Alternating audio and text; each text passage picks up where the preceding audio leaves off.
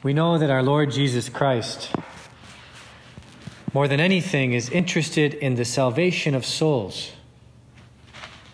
and that his passion and death are for souls.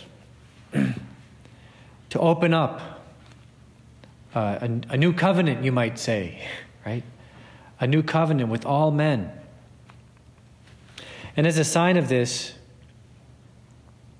in the beginning of Passion Week, there are some Greeks that come to the feast. And these Greeks approach Philip and say to him, Sir, we wish to see Jesus. Philip tells Andrew, and then Philip and Andrew together go to Jesus. And our Lord responds and says, The hour has come for the Son of Man to be glorified. So often in his public life, he would say, My hour has not yet come. Well, now the hour has come.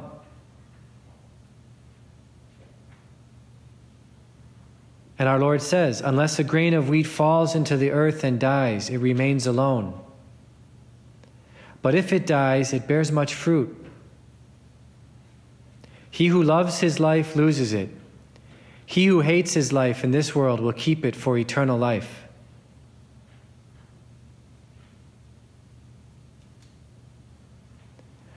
One of the preconditions of carrying out apostolate is detachment.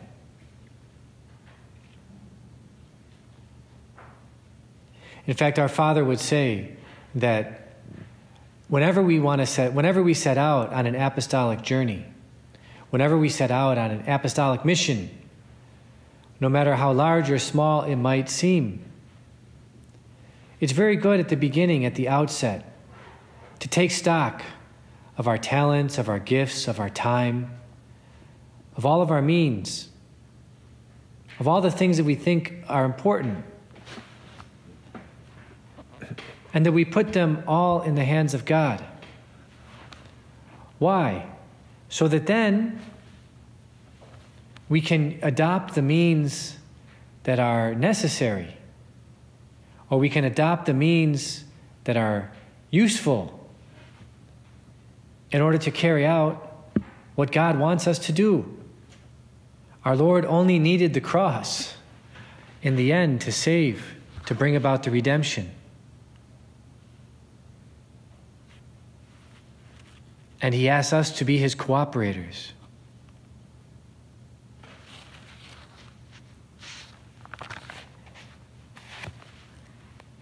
and as we pray about the cross, we can pray about how, even at the beginning of the cross, even from the cross, we start to see the salvation of souls being worked out. The good thief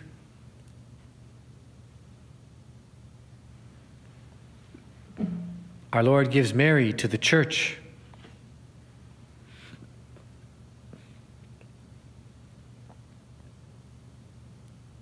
Our Lord prays from the cross for souls. He prays that prayer from the cross My Lord, my Lord, why have you abandoned me? My God, my God, why have you abandoned me? But he also prays, Father, into your hands I commend my spirit. And he also prays, Father, forgive them. They know not what they do.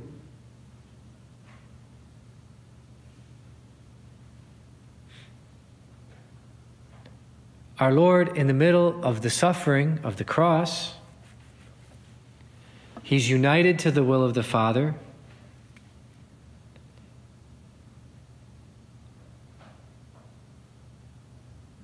And he's winning the salvation of souls.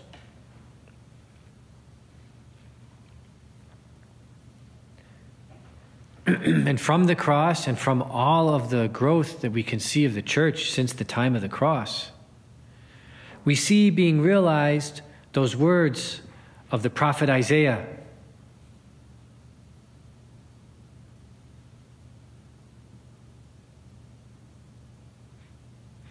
For as the rain and the snow come down from heaven, and return not thither, but water the earth,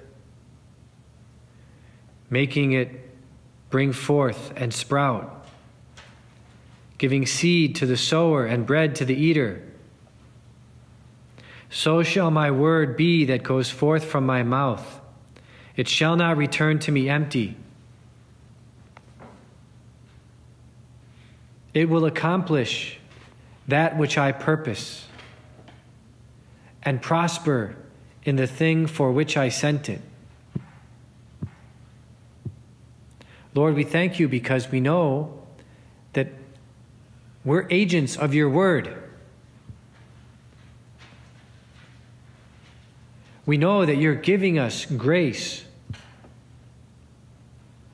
in order and we're thank you, we thank you for that, uh, the great grace, that you, the great confidence that we can have in your grace bearing fruit. The Holy Spirit inspires Isaiah to say, You shall go out in joy and be led forth in peace. The mountains and the hills before you shall break forth into song. The mountains and the hills are the difficulties that, that our imagination proposes to us in carrying out the apostolate.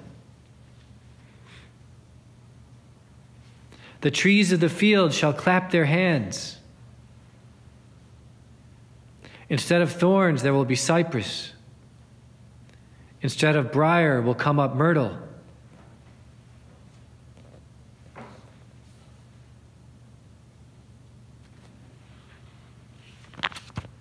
Our Lord is giving us great hope. The Holy Spirit is giving us great hope. His words will not be frustrated. there are stories of some saints who would, in difficult moments, they would preach to the fish. As a way of, first of all is very biblical, because our Lord will, told, tells the apostles, you know, from here on out, you're not going to catch fish, you're going to catch souls.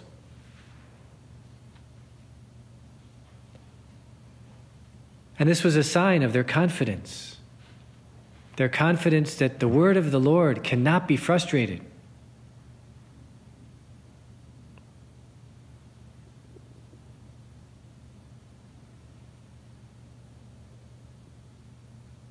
One of the gifts that were given as the result of our faith and as the result of our struggle and our prayer is the gift of understanding, the gift of wisdom.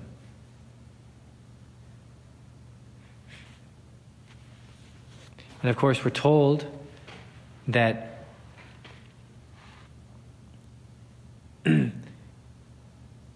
whoever has wisdom, the one who possesses wisdom, loves wisdom more than health or beauty. I would choose to have wisdom rather than light because the radiance of wisdom never ceases. All good things come to me along with her.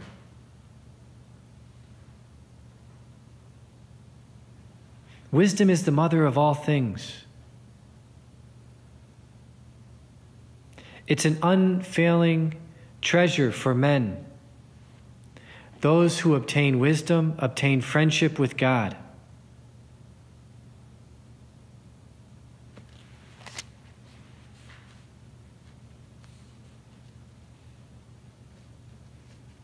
And then we're told that wisdom is one. Wisdom can do all things, she can renew all things. and in every generation, she passes into holy souls and makes them friends of God.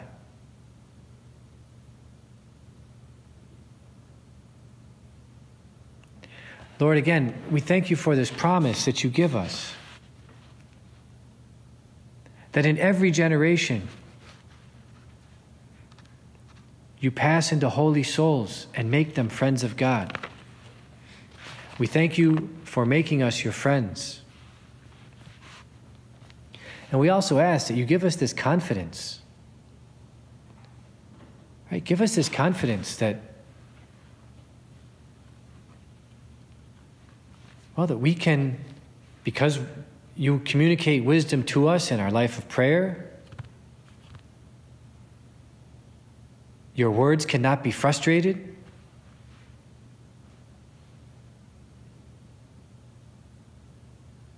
Your words will not return to you without bearing fruit. Give us confidence to set out in the apostolate.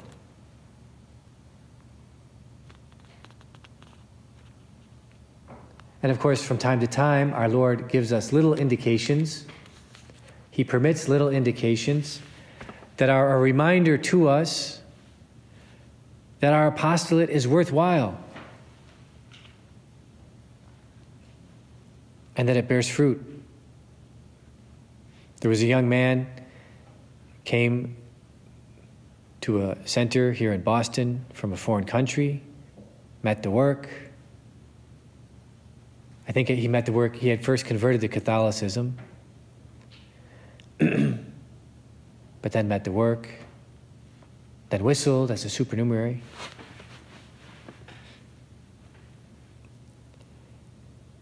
And was finishing up his degree. His, his, he, he was married. He and his wife had one child. And he got on the subway to go from Harvard Square to who knows where. And I guess it was later at night, so the subway was not as full. And there was a lady on the subway and she was kind of, something was wrong with this lady. And so as she spoke, she kind of shrieked and spoke at the same time. and she kind of looked at him and sized him up. And started telling him things about himself, like where he was from, what city he was from, in what foreign country. And then she told him that she knew he was married and that they were trying to have a second child and that they would have it. They would succeed. And they, she's, his wife is now pregnant with their second child. And then the shrieker told this fellow that your wife will convert to Catholicism. And of course, she's coming into the church this Easter.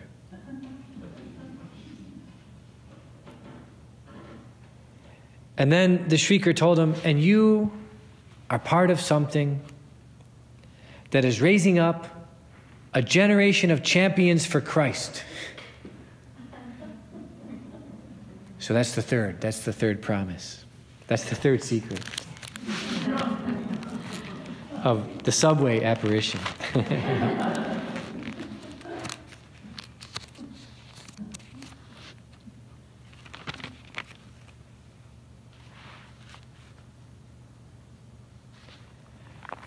Lord, we thank you because every, every once in a while we receive these little indications. These little indications that remind us that well, that our efforts are worth it, that we do bear fruit, that maybe sometimes our efforts that apparently don't bear fruit, well, sometimes that, that act of the will, that good intention, offering up the apparent failure, I mean, sometimes that itself is winning grace for souls somewhere.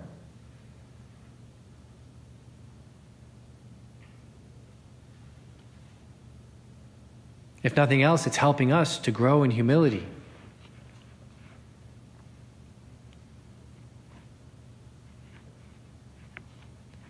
And of course, when, when in our families or in the, in the church, when we're experiencing difficulties, those difficulties also are occasions of grace. Lord, help us to understand how difficulties and apparent failure are occasions of grace. Our Father would sometimes pray the Te Deum after receiving bad news. he would, of course, he would say it after receiving good news, but he would also sometimes pray the Te Deum after receiving bad news. Or apparent bad news, bad news in the eyes of the world.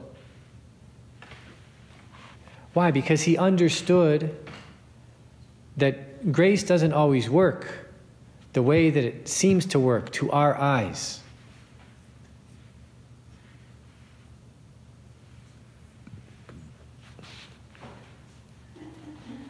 A good act of reparation, a good act of love sorrow, made after some apparent defeat or failure, is sometimes precisely the grace that our Lord needs. It's precisely the cooperation that our Lord is asking of us.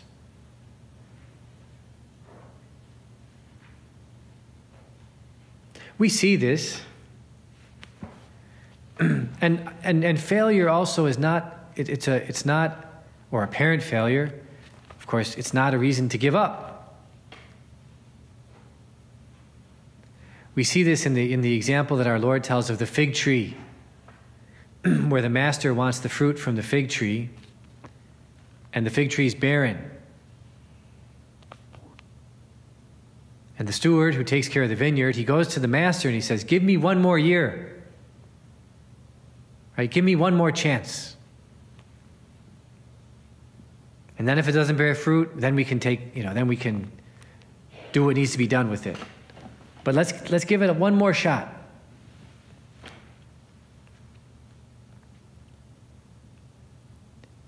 These times when our Lord approaches the apostles when they're in the boat, on the day when evening had come, he said to them, Let's go across to the other side.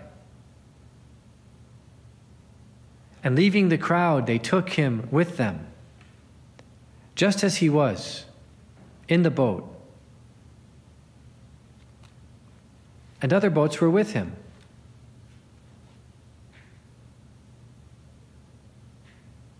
And the fathers of the church, they all see that this, this is the image of the church. The boat is the image of the church. The apostles are in the boat. In this instance, our Lord is with them in the boat.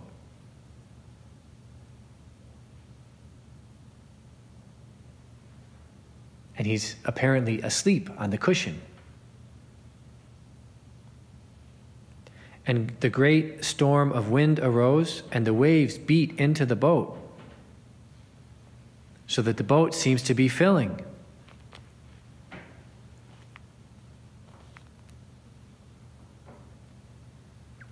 And they wake him up and they say, Teacher, don't you care if we perish? He rebukes the wind and he says to the sea, Peace, be still.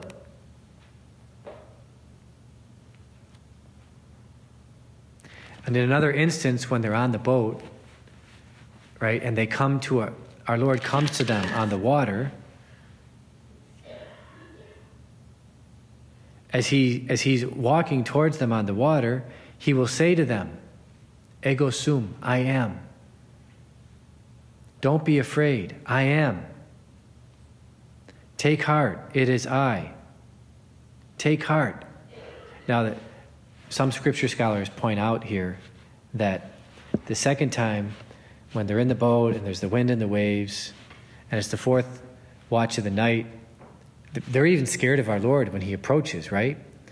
but they point out that what these scripture scholars point out, and some of this, some of us learned this in Christology this summer, this past year, that when, if we go back to the burning bush,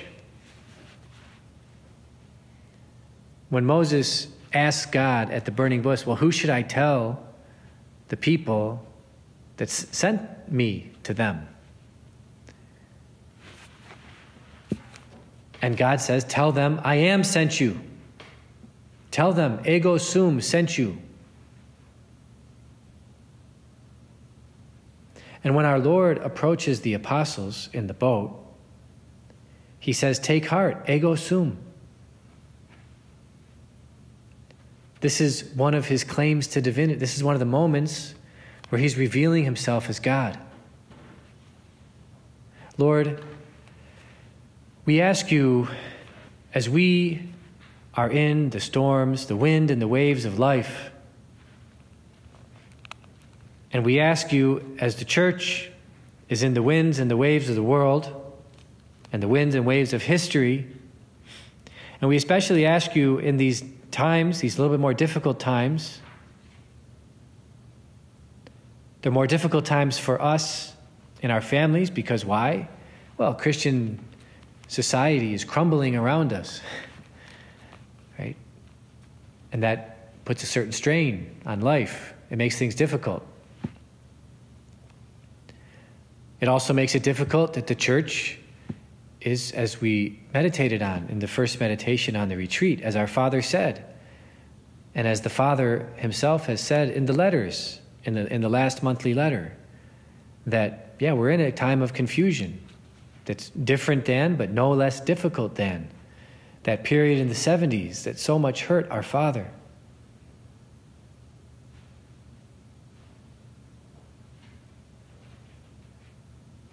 Lord, we ask you to wake up.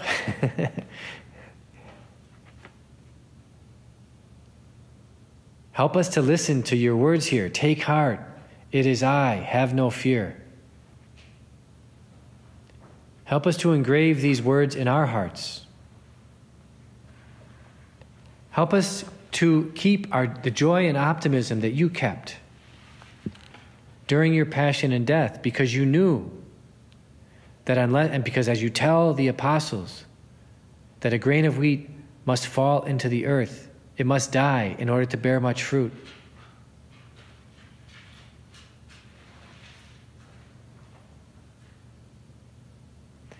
Lord, help us to ingrain in our hearts also what you tell the apostles. If anyone serves me, he must follow me. And where I am, there shall my servant also be. Right after this happens, our Lord reiterates that He has precisely come into the world for this hour, so as to glorify the name of the Father. And then we have an, an, incredible moment, right? The Father, a voice comes from heaven and says, I have glorified it, and I will glorify it again.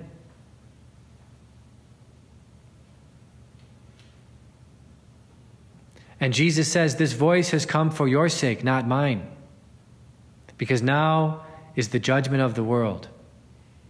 Now the ruler of this world will be cast out. And I, when I am lifted up from the earth, will draw all men to myself. In 1884, you know, this, this is one of those things where it's mystical. And we don't know exactly what it means. But we all know, maybe we know the story, that in 1884, on October 13th, 1884, Pope Leo XIII had an incredible vision after Mass. And in that vision, he kind of he saw that, well, the devil would wreak havoc on the church for a hundred years. And so, after that vision, he composed two prayers to St. Michael.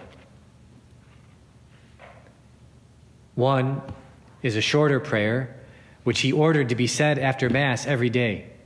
And when they, when they rescinded that order in the late 60s, early 70s, our Father encouraged all of us to, as part of our personal piety, to say that prayer to St. Michael the Archangel every day after Mass, right? To continue saying it. And the Pope has recently encouraged everybody to start saying this prayer again and the Father has been also reminding us to say this prayer to St. Michael. Why? So that we can get back to what some people are now calling, so we can get back to the old evangelization.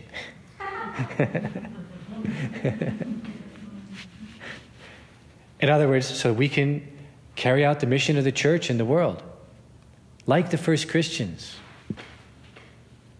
with their same spirit in different, different circumstances, but the same Spirit. proud of our Catholic identity, proud of being Christians. And yes, showing people the beauty of the Christian way of life, of the beauty of and the goodness and the truth, all of them, not just one.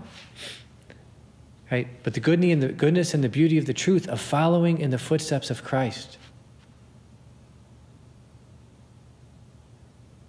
Christ, who is the creator of the universe, who is the creator of human nature,